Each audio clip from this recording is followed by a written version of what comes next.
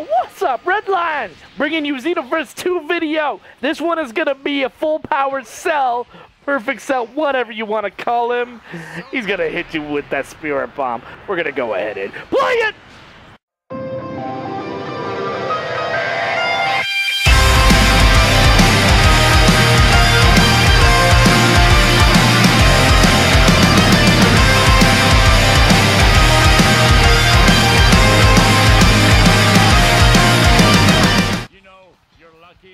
If you ever saw my true terror, you would die on the spot. Cell coming out with that shit talking. I don't know if you noticed that right away, but uh, Cell uh, said if you witnessed my full power, you would die on the spot. I, I remember Cell. I love Cell in the series, like in Dragon Ball Z. Cell to me was a really great character. Uh, just so cocky, so full of himself once he reached that full power, and uh, it was just a really cool turning point in the series because we got to see a different hero. And we got to see Goku go up against him, but knew that he couldn't quite grasp the power enough to defeat him, thinking that it was going to take Gohan to do it, and allowing his son to try to do it.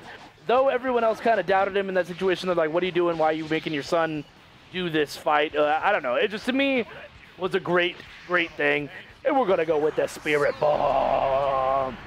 God, I love a Spirit Bomb. Big miss getting hit for it, getting punished for it. But yeah, in case you did not know, we are in our Xenoverse matches where I'm trying to get a win with each one of the characters. So right now, I'm using the full powered cell on the character list, and we're trying to get this win. I think I actually still have to use the other skin version of him because this one's a separate character, the full power is. I think I still have to use like the perfect, perfect cell. I'm not sure if that's what the other one is. Uh, all I know is this is the one that says full power on it, and uh, that dude definitely missed, so he's gonna get rocked right there, and that's gonna be a really bad time for him. And uh, another super spirit bomb. So much Let the savagery commence. Oh man, use the block, but he still gets damage from it, and he ends up in a spiral after that. So decent amount of damage done. Uh, we're catching back up here. Trying to hit that Kamehameha. Uh, Cell's movements are pretty sick, though. I don't know. I, I, he's not the best character. I personally don't believe. Like, it did take me a couple tries to end up getting a win with him, uh, but uh, it wasn't the worst character I've ever fought with, too. I mean, let's be on the real. We all know Krillin's going to be one of the hard characters to use, and so is some of those uh, Frieza characters, the the Frieza Force characters.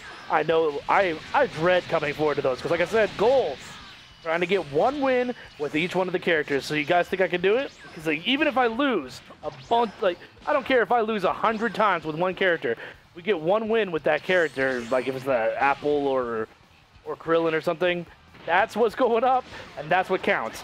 Um, now I just let I will tell you the truth. I do lose. Like I, like I said, it took me a couple tries with uh, the full power cell here. I think this was my fourth try, maybe third try. Third try, I think. It wasn't too bad. Uh, some of them though, I do get them right away. Like I've had a couple of them where like my the Super Saiyan 4 ones, and some of them I'm so confident in that I do really well with that you'll see two fight two matches with. But uh, ended up winning that with a timeout, so it's time for the video to end, and I'm gonna head out. I'll see you guys later. Peace.